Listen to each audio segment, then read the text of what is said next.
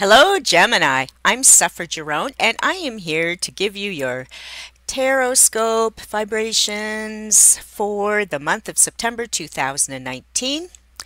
Make sure you go and look at or watch the horoscope overview at the beginning of this playlist, or it might be at the end, or however it goes. But look at the overview because it'll have different information than the information I'm about to give you.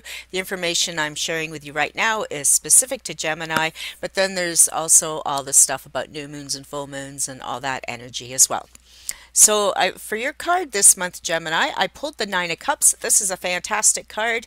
It's kind of like a party card, but of course we know Gemini is the party. if there's a Gemini in the room, they're the party.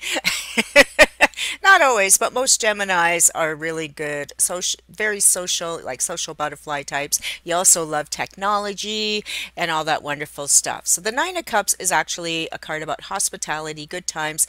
Um, you may be having parties, you may be going to parties, and by parties, this is like social interactions, uh, groups, uh, you know, it could be a book club, anything, right? And so it's showing that there's a lot of good times, friendships, and these wonderful um, times to be shared and enjoyed.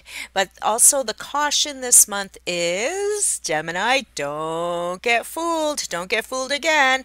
Uh, Nine of Cups can sometimes represent if it seems too good to be true, it probably is. So when you're making purchases this month, make sure you double and triple check everything that's happening, that you're getting what you think you're getting.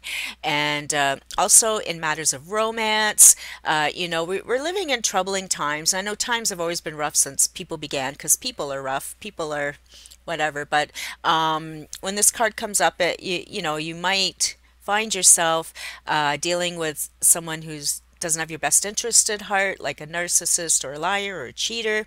So be careful if you're meeting new people and they, they're coming on really strong at what we call love bombing because they may not have your best intentions at heart. So just uh, don't jump into relationships really fast. Just watch and learn and listen.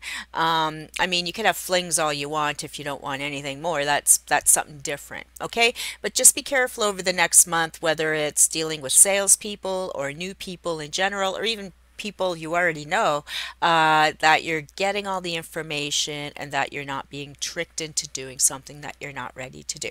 Okay, other than that, Nine of Cups is a really happy card and have some fun.